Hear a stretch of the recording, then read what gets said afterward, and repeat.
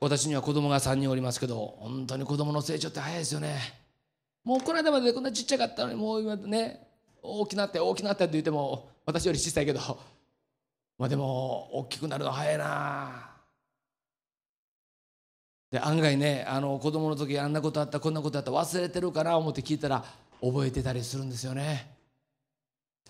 えー、南港の方にアウトレットの大きなお店ができた時にね私は長男連れて見に行きました、えー、そこにですねこのアウトレットのギターの店があったんですよね。ギブソン。とかね。もうあのいやギブソンって分かりますか？別に分からなくていいんですよ。まあ200万300万のねギターがずら並んでるわけ弾きた弾きた見てるだけ!みたいな感じで「えー、見たい!」ね。でもねそれずっとうっとり見とれている間に迷子になったんです長男。あれ？俺？どこ行ったかな？思ったらね全然知らんおっちゃんの後ろについていってるんですが私と勘違いしたなんで勘違いしてるかって言ったらもう上下とも全く同じ服装なんですよ。ユニクロ。皆さんあのこの自分と完璧に同じ服装の人をねあの街中でばったり会った時なんとなく気恥ずかしくありません？お前もかみたいな感じでもう後ろから見たらね分からへんそんなで彼はですね「お父さんの後ろ行くんや」いう感じで「ガーッタタタタ」いうことでねふらふらとついていくんですが違うと。で南港のねもう今あの不良債権ですごくあの注目されてる大きなビルですけど3階から1階まで降りていく直接のエスカレーターがあるんですよねその下りエスカレーターに乗ってずっと下っていくのを見ながらね「おーい!」と「父はこっちだ!」ってね教えたったらもうその子供のねこの顔ふえうわこれ誰なんこれ大人こっちや!」言うて。ねもうその顔を見た時そのねもう不憫なのとおもろいのがです。何をした？で何したか言ったらね下りエレベーター登り始めたんですよ。下りエスカレーターですよね。だけどまだねもうもうかろうじてこのよちよち歩けるような子供ですからね。登ってるのに下るスピードの方が速いんですよね。ということはね登れども登れども下がっていくわけですよね。ムーンウォークのエスカレーター版。なんで登ってんのに沈むねんというそのねもう子供にしてみたらね完全なパニックですよなぜなんだみたいな感じでね。それ見た時のね面白さ。何をしとんねんと。親の顔が見たいと。ね。私ですでもまあかわいそうになってきましてね。そのまま下に降りていきなさいって言いました。自分の力で登っていこうとしてもね登るスピードよりも落下していくスピードの方がはるかに速い。君には無理だ。君は降りていきなさい。お父さんが君を迎えに下っていくから。皆さん人間はね神の前に自分の力で修行でボランティア活動で道徳で倫理で神様の域に達しようと思って登っていくかも分かりませんが人間が登る努力の何十倍何百倍も速いスピードで人間の体の中に焼き込まれている現在堕落へのスピードっていうのはね生優しくない。どれだけ登っても登ってもね神に到達することはできません。創造主のもとに行けばよいと分かっても自分の力で神のところに行くことはできない。なので神の方から人のところに降りてきてくださったんですこの人となられた神神でありながら人この方こそはイエス・キリストなんです。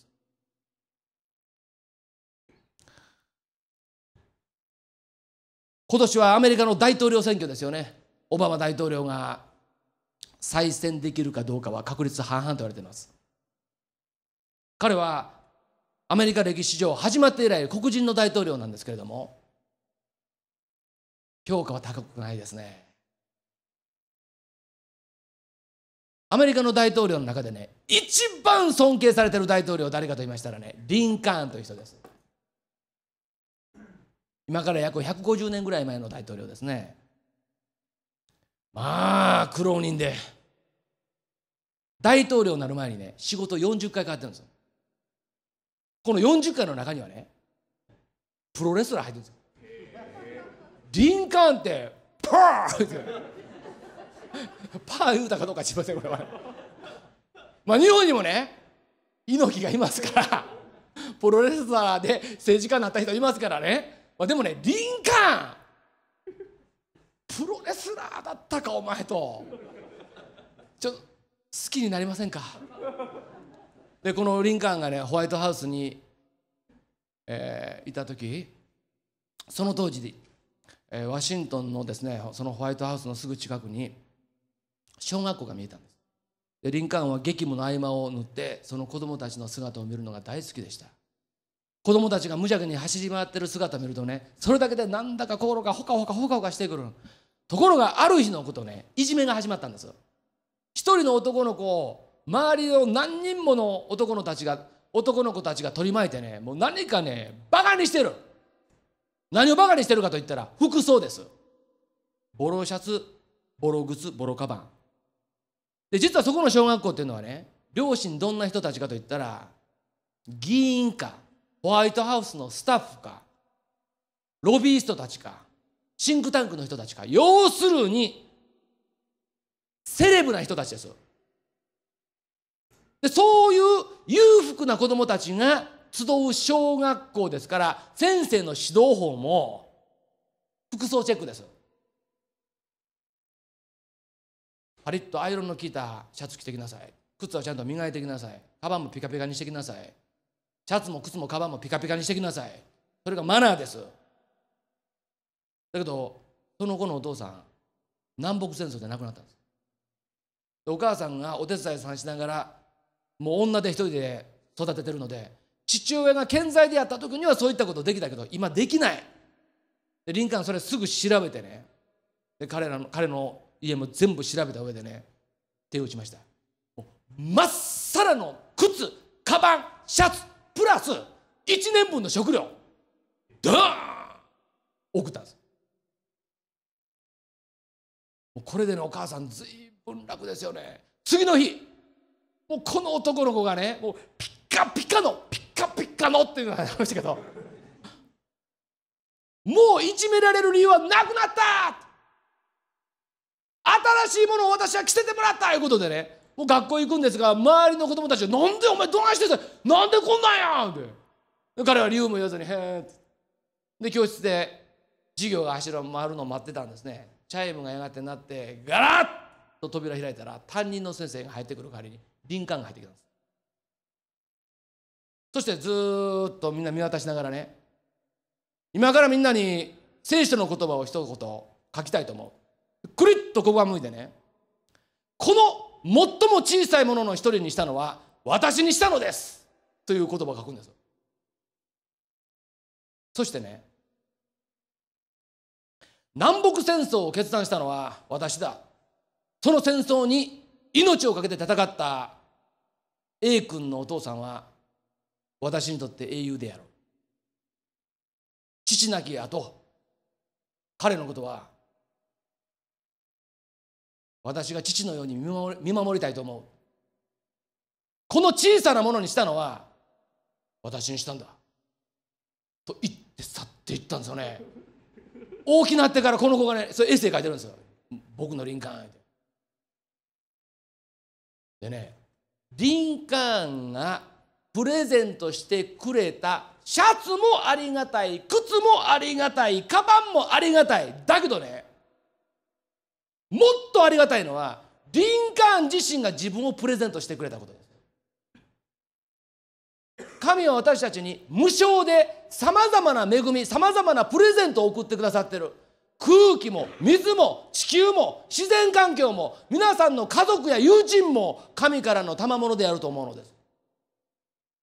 しかしね神がお作りになった良きものをプレゼントするだけではなく神は自らを贈り物としてこの世界に降りてきてくださった。それがイエス・キリストです。イエス・キリストは一体何のためにこの世界に来てくださったんでしょうか。私たちと神とを隔てている罪という遮蔽物を永久処分するためにこの世界に来てくださったのです。罪の永久処分は命で償うのでない限りできないことでした。キリストは今から2000年前私たちの罪を背負って私たちの身代わりに罪の刑罰を一切引き受けるためにこの世界に来てくださったんです。なぜ人となったんですか？人でないと死ねないからです。なぜ神が人となったんですか？神でないと罪人を救うことができないからです。神でなければ人でなければその同時でなければできない私たちの罪の償いを果たすためにキリストはこの世界に来てくださった。そして私たちの罪を全て永遠に帳消し処分にしてくださったんですね。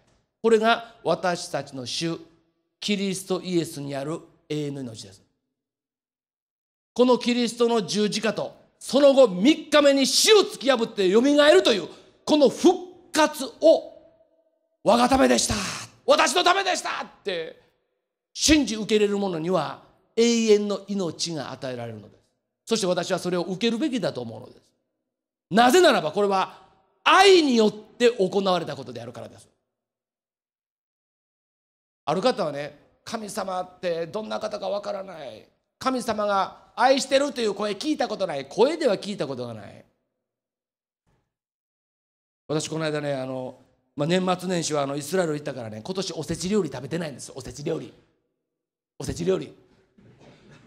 遠回しに要求してると思わないでくださいねおせち料理。ほんでね先々週かな母がねちょっとおせち料理食べにおいで言うて。まだ残ってた。あんたのためにまた作ったんやから言うてね。あそらそうやろな言うて。で子供は連れてね食べに来たねって肌振って。食べに来たねって。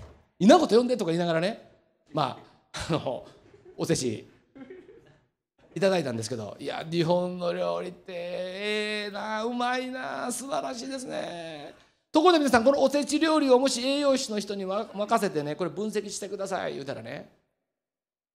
これカロリー何カロリーでこれ何カロリー何カロリー何カロリーでね。1日の1200カロリーちょっと下回ってますとか上回ってますとか、これを何か食品研究者の科学者に渡したらね。これはタンパク質が何パーセントで炭水化物が何パーセントでミネラルが何パーセントでって分析してくれるでしょうね。あるいはこれを量子物理学者が何か渡したらねこれ原子の数で分析するとですねこれをですねこの C がですねとか言いながらねまあいろいろ分析してくれるでしょで科学ってね任せたらいろんなこと分析して教えてくれますよ。教えてくれますけどねこのおせち料理なんで作ったのかということについては答えてくれないんです。おせち料理の成分について教えてくれますけどなんで作ったん？ということについては分かりません。分かる方法は作者に聞くことです。なんで作ってくれたん？孫かわいいからや孫が。あそう。